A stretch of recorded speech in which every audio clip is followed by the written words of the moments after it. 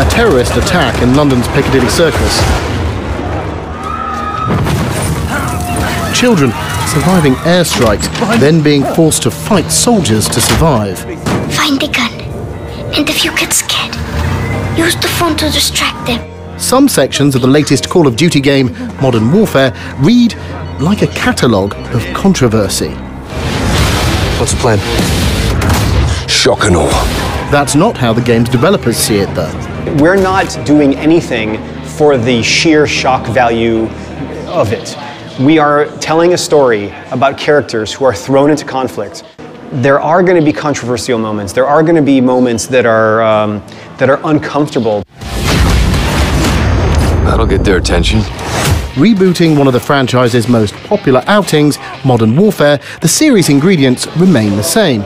A first person shooter where the player adopts the role of several different soldiery types, engaging in a globe trotting campaign requiring guns, grenades, and gruff one liners. This is crazy. Get down! Yeah, but we're a little crazy, aren't we? Missile inbound. Fan favourite character, SAS officer oh, Captain Price returns, offering guidance and instruction in a story involving chemical weapons, Middle Eastern militias, and Russian invasions. You want the gloves off? They're off. This year's outing is distinctly darker in tone than recent editions of the series, with its developers, Infinity Ward, claiming many of the game's themes have been ripped from the headlines. Is a game where the primary mechanic is, is shooting stuff. Is that the, the sort of the best method of exploring some of these ideas and issues? No one asks if a film like Sicario should exist.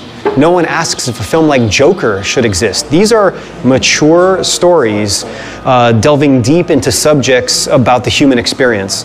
And video games has a way of telling these stories in a way that's more um, immersive than linear media.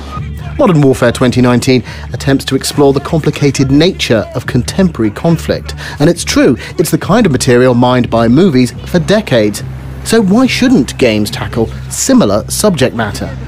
I don't think we should steer away from what stories that video games can tell. There's not specific genres and specific stories of, of morals that people can tell. People can experience all things through video games. People can laugh, cry, be afraid, feel war, see these morally grey areas that are depicted so strongly. While previous outings have often allowed the player to step into the combat boots of Western Special Forces types, this time out, one of the game's lead characters is a Middle Eastern woman, Commander Farah Karim. Let's move. We have to cut the wolf off at the pass. I think it's very important to have that character. I mean, like Taylor has said, our director has said that he's she's based on real life uh, Kurdish female fighters that are out there. It's the reality of the world. It's what's happening out there. These women exist, so why not tell their story? I'm hoping that it opens players' minds. Most war stories are about soldiers, Western soldiers usually, going over there into some far off land. But what about the people for whom the far off land is their home?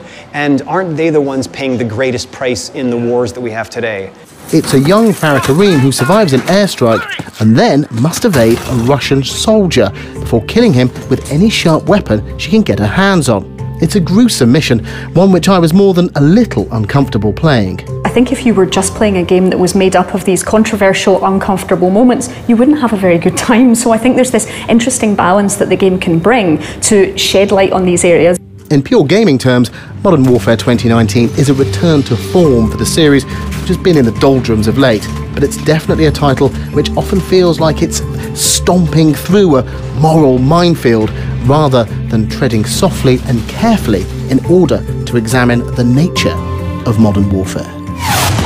Hell yeah!